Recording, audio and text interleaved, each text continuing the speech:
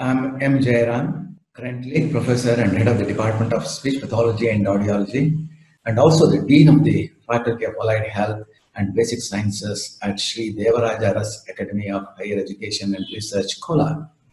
It's a deemed to be university and is in existence since 1994. Let me start off by congratulating uh, Nandu Radhakrishnan for the excellent initiative he has taken. Thanks to his initiative, information would now be available on the origin and development of the field of speech and hearing in India and people responsible for that in one place. Congratulations, Nando. Keep up the good initiative.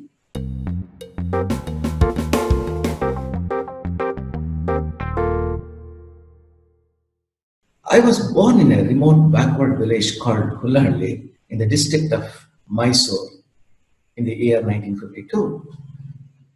My early childhood was characterized by a series of illnesses which prevented me from going to school till 1959. In the year 1959, I was straight away admitted to third standard in the government new type primary and middle school. The village might have been backward, but the school itself was very good and the teachers were excellent. I respectfully remember Sri Madhu my first teacher, and Sri Kempa Shetty, who taught me science starting from fifth standard onwards. Sri Kempa Shetty made us understand what is scientific temper, scientific evidence, and experiment. My elder sister was also there in the same class as I, and uh, we were always weighing for the top honors in the class till seventh standard. Otherwise, my stay at the village school was unremarkable. I did well in the seventh standard examination and then went to Udupi for further studies. Udupi is a temple town, abode of Lord Sri Krishna. It's very famous for its uh, Krishna temple and the Astamathas. In 1964, I got admission at Government Board High School. The high school was very good and the teachers were really excellent. I respectfully remember Sri Chandrasekhar Somayaji, who taught me Sanskrit, Sri Badrinath, who taught me chemistry, which was my favorite subject, Sri Nagapaya, who taught me both general science and social studies, and to top them all, Sri Jayan Shetty, who taught me English. Sri Jayan Shetty literally made us to drink Wren and Martin, the classical English grammar treatise. My stay and education at Board uh, High School really broadened my thinking, broadened my outlook of life in general.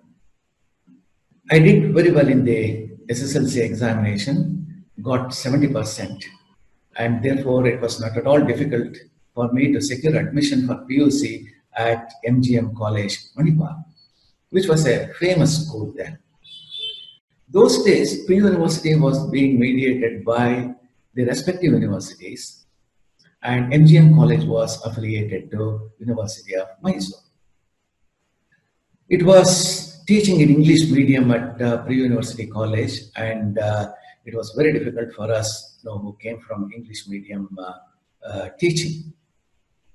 But I should remember the contribution made by all my teachers uh, for me to understand the subjects and uh, progress. Especially, I should remember Captain Balakrishnan, who was on deputation from Indian Army to this college to take up a teaching position, who taught us biology, which was my favorite subject then, other than chemistry. Srimati Theresa Joseph, who taught us English, had deep influence on me. I did very well in the pre-university examinations, got 69% with very good marks in uh, chemistry and biology. I returned to Mysore in 1969 for further study.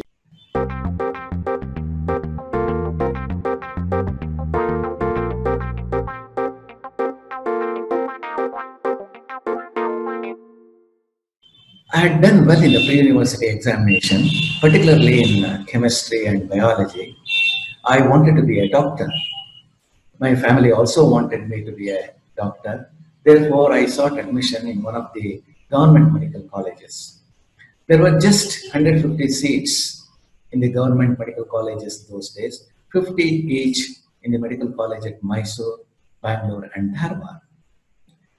In the meanwhile, I had secured admission for Bachelor in Veterinary Science program at Bangalore, Bachelor in Fisheries Science program at Mangalore, and uh, Bachelor in Science program at Yuvarajas College, Mysore.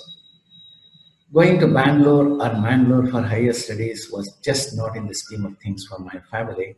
Therefore, I took admission at Yuvarajas College and uh, was waiting for classes to begin. On 3rd July 1969, my uncle, who was an office superintendent at the University of Mysore, came home and told my brother about the new BSc Speech and Hearing program and the All India Institute of Speech and Hearing. He stressed the fact that it's a new course and a new institute, which meant that the job potentials are very high. For most of us those days, completing our education and securing a government uh, job was an undeclared motto. The only problem was that the last date for uh, applying for BSc Speech and Hearing program was 30th June and it was over. Nevertheless, my brother went to the institute the next day, met Dr. J.J. Dharmaraj, the then director of the institute. Dr. Dharmaraj saw my mask card and allowed me to apply. I applied for the program, got selected, and joined the institute on 1st August 1969.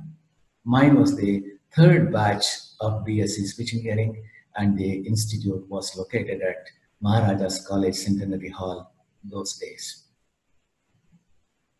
Let me finish my medical uh, admission story. There was no entrance examination those days. I was asked to appear for a personal interview at Mysore Medical College.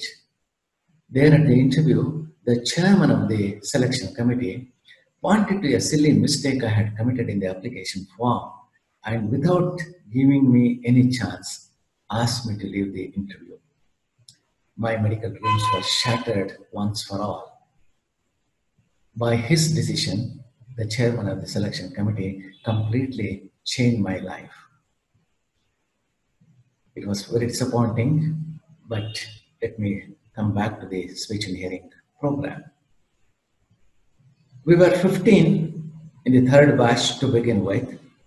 I had uh, Satyendra Kumar from Delhi, Subhash Agarwal from Ambala, Vijay Nandu from Hyderabad, Manoharan from Tamil Nadu, and from Karnataka there were uh, Mallikarjun, Shanwas, ADSN Prasad, Guru Prasad, Prakash, Nagesh, Jayanti Mala, Vijaya Bhatni, Ratna, and Sheila with me in the third batch.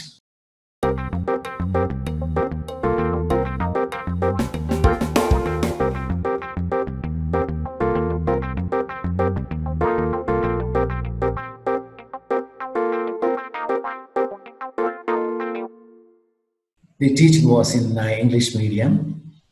Getting adjusted to students from different uh, parts of the country, speaking different languages, coming from different backgrounds uh, was a problem uh, in the early days. Language and communication in English were always problematic. In addition, I had the disappointment of unfair rejection of a medical seat for me. Because of all these things, I could not concentrate on my speech and hearing studies. I was more interested in organizing sports events in ball badminton, carom, chess, and uh, carom. The exams came, there were class examinations, and I didn't do all that well. I got 8th rank among 13 students. After the first year examination, we were eagerly looking forward for our second year BSc program. That was in June uh, 1970 when four uh, or even five significant things happened. One was my classmate Subhash, who had gone home for his vacation after the first year exam, never returned. He succumbed to malaria, we were told. So the remaining 12 of us continued the program. Second event was the shifting of our institute from the Maharaja's College Centenary Hall to our own building at Manasagangotri. Third event was my election as sports secretary uh, to the Students Association. I continued uh, my sports activities with greater vigor and enthusiasm. All these years, MSc students were getting stipend, but the BSc students were not getting. In 1970, June, July, a stipend of rupees 100 per month was introduced for the first time for students of the coming batch of BSc. So my friend Rangasai and his classmates were the first one to get stipend at the institute for their BSc program. The last and the most significant event was the induction of four of our seniors as lecturers. We had Mr. P.D. Manohar, Mr. M.N. Vyasmurthy, Mr. S.P. Pandale, and Ms. Shamla Dhanbaraj as new lecturers at the institute who changed who changed completely the teaching environment at the institute. In the second year BSc, we had speech pathology and audiology as class subjects. There were no university examinations in that. We had university examinations only in uh, developmental psychology, clinical psychology, and statistics. Mr. Manohar taught us speech pathology, Mr. Vyasmurthy taught us audiology. From that time till the time I completed my MSc, it was Dr. Vyasmurthy and Dr. Vyasmurthy alone who taught me audiology. He was a great teacher in the classical mode even today, I remember all the audiology that he taught in those four years. Thank you very much, sir. So we had university examinations in uh, developmental psychology and psychology of learning taught by Mr. Uh, M.N. Hegde, clinical psychology and mental testing taught by Mr. J. Bharadraj, and statistics again taught by Mr. Bharadraj. I did extremely well in the final university examinations, got 73% and first rank. For that scheme of examination and curriculum, that record is yet to be broken at the institute. So we went to third BSc in uh, June 1971. And uh, personally, a satisfying thing for me was that I got elected as General Secretary of the um, Students Association and uh, I, I continued to organize various events. We had uh, four papers in speech language pathology and four papers in uh, audiology. Uh, the speech pathology and audiology papers, majority of them were taught by Mr. Manohar and uh, Mr. Vyasmurthy. Dr. Ratna was teaching us the education of the orally handicapped. The four papers in speech pathology were Introduction to Speech Pathology and Voice and Articulation, Speech Therapeutics and Organization of Speech and Hearing Centers, Stuttering and uh, Other Organic Anomalies, and uh, Clinicals in Speech Language Pathology. Four papers in audiology were hearing aids, speech reading, and auditory training. Second one was education of the orally handicapped. Third paper was introduction to audiology. Fourth paper was clinicals in audiology. Again, I did very well in the university examinations. Stood second. My classmate uh, Sheila uh, secured the first rank in uh, final BSc examination. So we were ready for uh, admission to MSc and pursue our uh, program.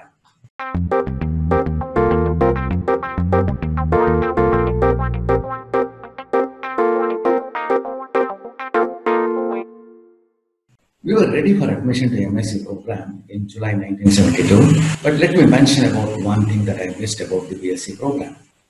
When I passed the second year university examination, one of my seniors, Mahananda, he passed his first MSc university examination, and like me, he stood first in the class. He cleverly instituted two gold medals by name Nanda Gold Medal for the university toppers in BSc and MSc. It was not necessarily for rank holders in the final year of uh, BSc or MSc. So that way I got the Nanda Gold Medal for uh, my first rank in second BSc, while Mahananda himself got Nanda Gold Medal for first rank in first MSc. That was my first uh, award. I cherish it, but uh, looking back, the circumstances under which the medal was given to me uh, appears funny. More about the MSc program now. Technically, there were seven seats for uh, MSc available to my batchmates, but in practice, there were only five seats.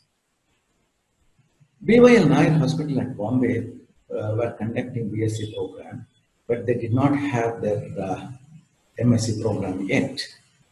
I don't know whether it was a formal arrangement or an, or an informal arrangement between the two institutions. From that year onwards, two seats in MSc at AIISH Mysore were earmarked for students from BYL Nair Hospital. So in the year 1972, one Miss Geeta Pai and uh, Miss Pushpa Duraswamy from BYL Nair Hospital, they joined us at Mysore for the first MSc program in 1972. That arrangement continued for three, four uh, years. Uh, I don't know what happened later. So from my batch of BSc, Sheila, I, Satyendra, Mallikarjun, and Shanwas got admission to first MSc, and three from the previous year's MSc batch, they also joined MSc with us. Ms. Maya Devi, Mr. Narahari Dattatreya, and Mr. Nagendra Kumar were the three. Maya Devi and uh, Narahari Dattatreya, they had significant role in uh, the development of my professional career, but more about that later. With Maya Devi in the class, the remaining nine of us were always fighting for the second rank, second position. First rank and first position in every paper was a foregone conclusion for Miss Maya Devi. She was such a hard worker. In the first year, MSc, we had uh, uh, research methods and statistics.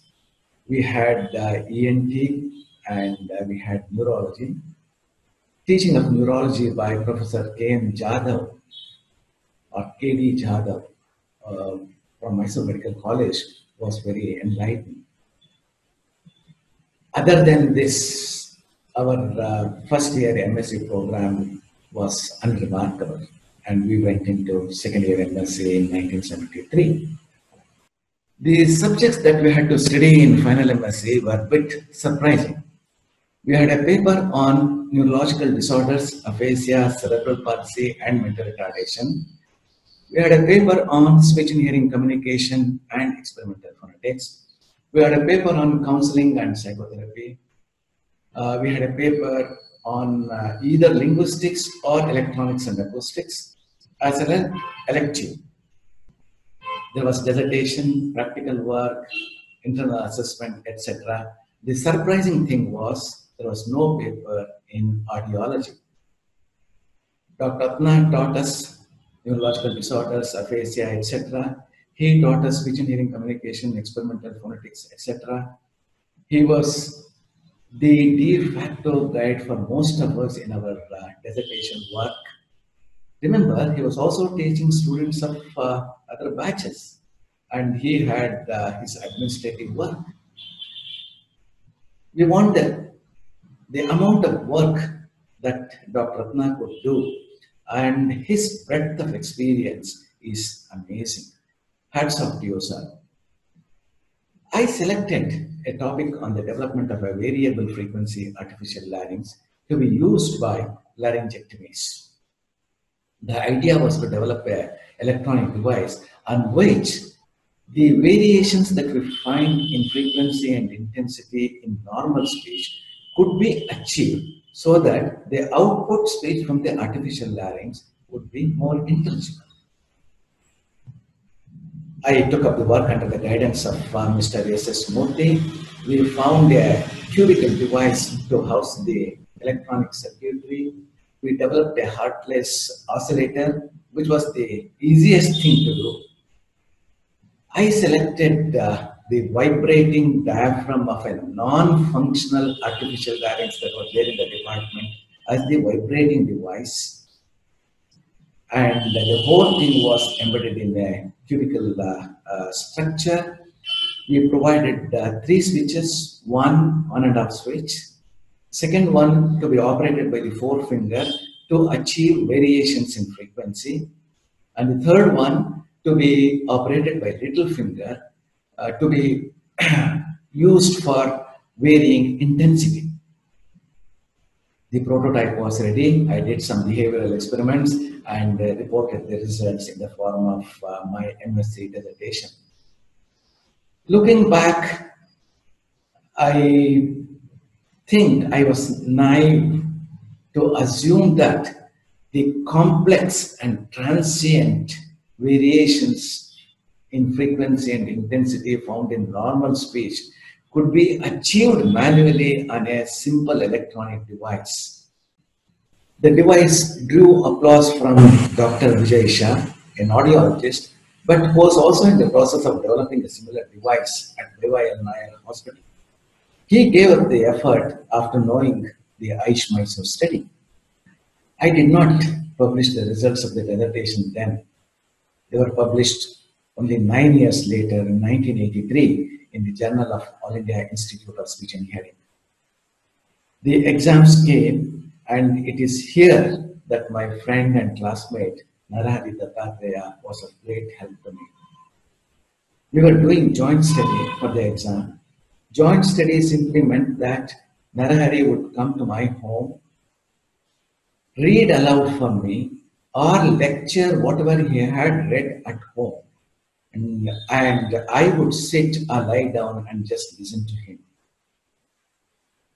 We were appeared for the exam together. I did very well, got 65% and uh, second rank. As expected, Miss Maya Devi got the first rank. It's unfortunate that uh, Narahari Dattatreya left the field after his MSc to serve in banking industry.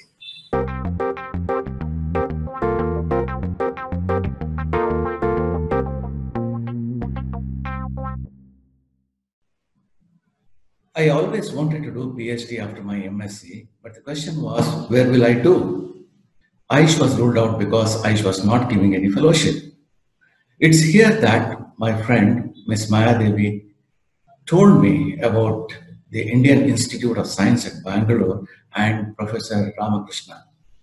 Professor Ramakrishna was an expert in electrical communication engineering and architectural acoustics had worked extensively in the areas of speech communication and intelligibility of speech with Professor Charles Speakes at University of Minnesota, Duluth.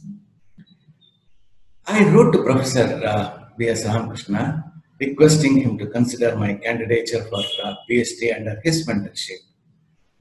Professor Ramakrishna responded promptly and told me about a problem in admission I had to take an entrance examination at IISc at the level of Master of Science in Physics, Chemistry, and Mathematics. That's ruled out. Eventually, Professor Ramakrishna managed to conduct a separate entrance examination for me in four subjects clinical psychology, linguistics, speech pathology, and audiology. This was followed by a personal interview some days later, and eventually I was selected for uh, a PhD. IISc was giving a fellowship of rupees 250 per month those days. I joined Indian Institute of Science on 21st August 1974 and subsequently in September I got junior research fellowship of uh, the Council of Scientific and Industrial Research, New Delhi. Again, a first for a speech engineering graduate. Professor Ramakrishna wanted me to work in the area of speech intelligibility, probably as applicable in architectural acoustics. But the problem was it needed uh, an intense knowledge of mathematics, and I was very poor in mathematics. After much discussion, I decided to work in the area of linguistics and stuttering because expertise in linguistics was available at the Department of Foreign Languages at IISc. There was Dr. P.C. Ganesh Sundaram, a professor of linguistics. I selected the topic of linguistic analysis of stuttering patterns in bilingual and monolingual stutterers. I was virtually on my own in my PhD work, and uh, it is here that the publications of Dr. Soderberg, Dr. Uh, Oliver Bloodstein, and uh, Dr. Marcel Wingate greatly guided me. I submitted my thesis in 1979 and was awarded the PhD degree in early 1980s. It's first time a speech engineering PhD was awarded to an Indian by an Indian institution. Subsequently, I submitted four manuscripts for publication in the Journal of Speech and Hearing Research. The editorial process went on for uh, nearly two years. Those days, the pattern was each manuscript would be reviewed by three reviewers, one associate editor, and finally by the editor himself. The comments and reviews of the reviewing team was a great, great learning experience for me. Eventually, only one paper was accepted for publication in Journal of Hearing Research, which came in 1984. Again, a first for an Indian from India. In between, Another publication of mine on phonetic influences in uh, stuttering uh, was published in the Journal of Communication Disorders in 1983. Again, a first for an Indian. After my PhD, I was working in a Government of India project on computer translation of Indian languages, English to Hindi and Hindi to Kannada I worked as project officer for two and a half years, and in 1983, I left Indian Institute of Science with a heavy heart. The decision and the gesture by Professor Ramakrishna back in 1974 completely changed my life for the better. I left IISc with a heavy heart, with the feeling that I failed to benefit from the expertise of Professor B.S. Ramakrishna because I could not work in the areas of his specialization. I left IISc in 1983 July, as I told earlier, and uh, I was selected as a lecturer in language and language disorders at All India Institute of Speech and Hearing, Mysore.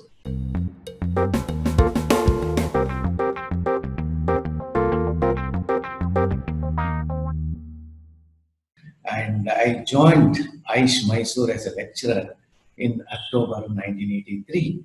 Thanks to my PhD work in the area of stuttering, I had good amount of information and understanding in the area of stuttering. But here at AIISH, I had to teach, apart from stuttering, on aphasia, cerebral palsy, mental retardation, voice and articulation. There was no other go for me. I had to sit and read.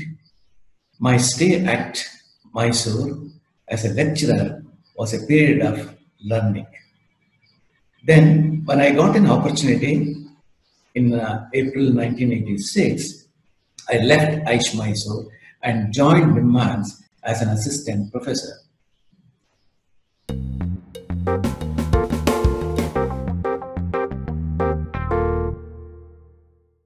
I was selected as an assistant professor in the third interview.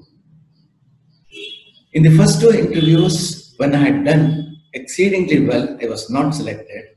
In the third interview, despite my poor performance, I was selected. I don't know what made Dr. G.N. Narayan Reddy, the then director of NIMHANS and chairman of the selection committee, to select me. Dr. Reddy was a man of vision and a mentor for uh, most of us.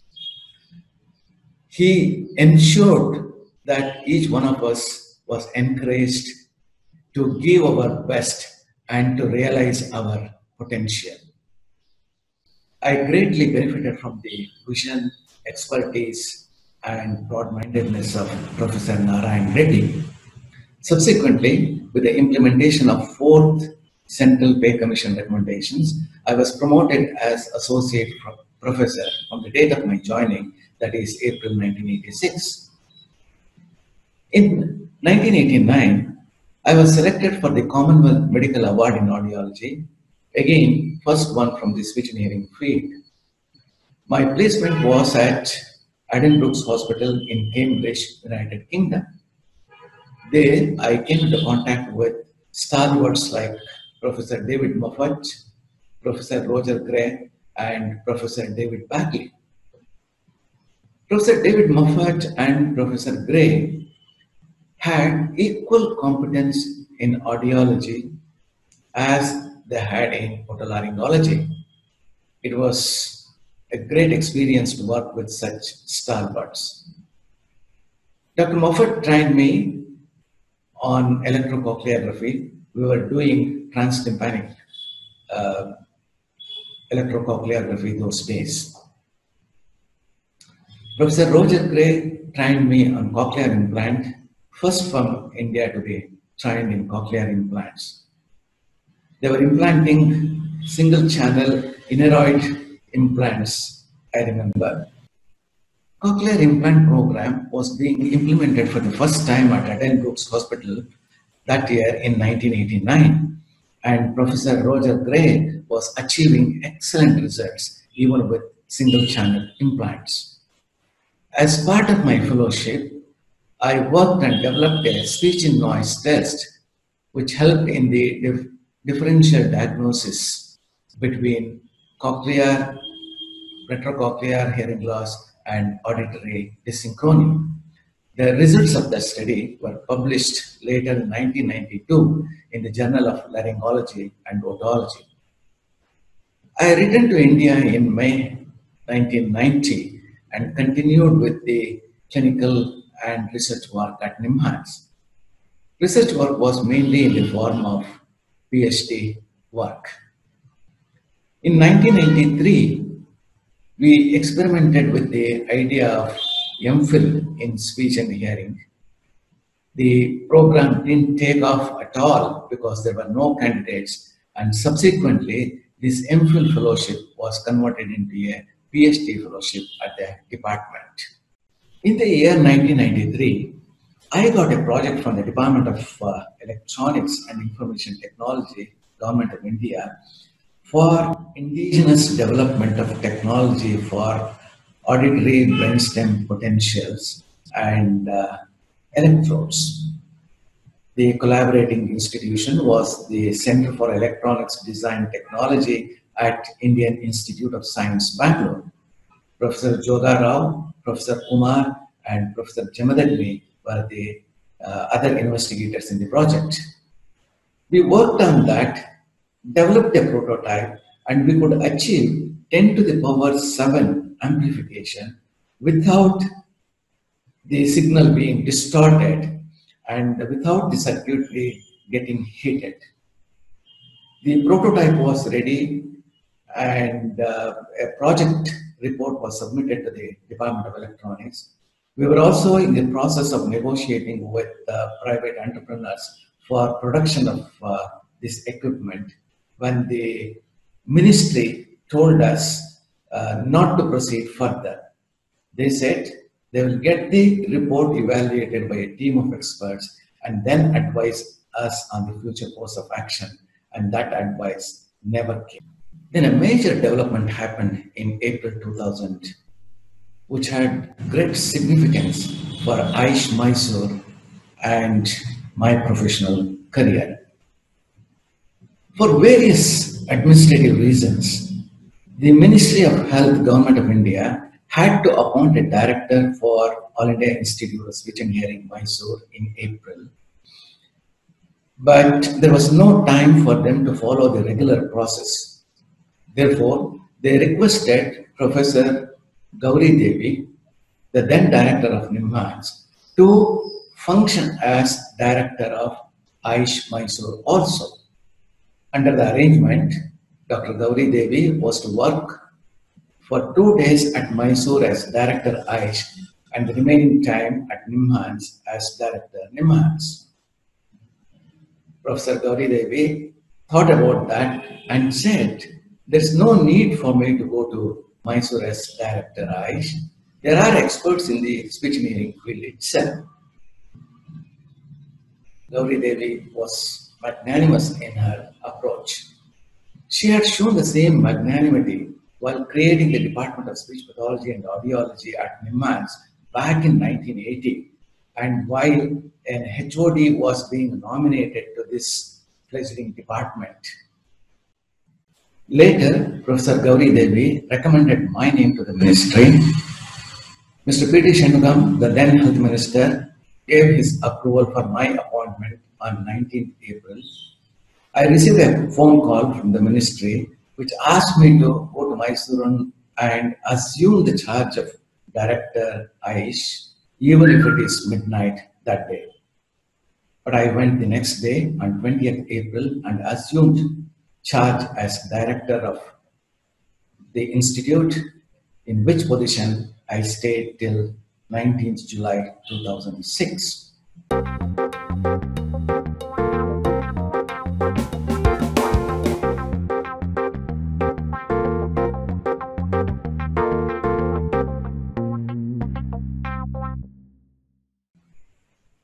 I'll characterize this period as a period of development in AIISH history, no aspersions cast on anybody. In my very second meeting of the Executive Council of the Institute, Dr. C.P. Thakur, the then Union Health Minister, gave approval for deemed to be university status for the institute. But that was only the first stage in the entire process. Later, a proposal had to go from the ministry to the Ministry of Human Resources, who will in turn refer it to UGC. UGC will do all the processing and inspection, send its recommendations to the Ministry of Human Resource Development, who will give approval or no approval, then uh, to be documented by UGC later. I had approval from the ministry, but you know we didn't have the infrastructure required by UGC to be granted a deemed to be university status, and therefore we started the developmental work. There was development in all spheres of uh, activities of the institute, clinical services, training programs, research, and other domains. But let me briefly touch upon the development seen in the domain of clinical services. To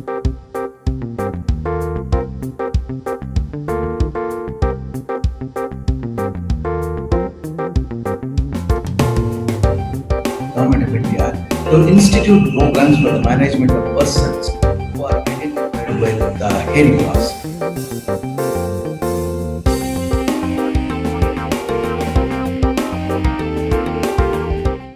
Later came an invitation from Sri Devaraj Urs Academy of Education and Research.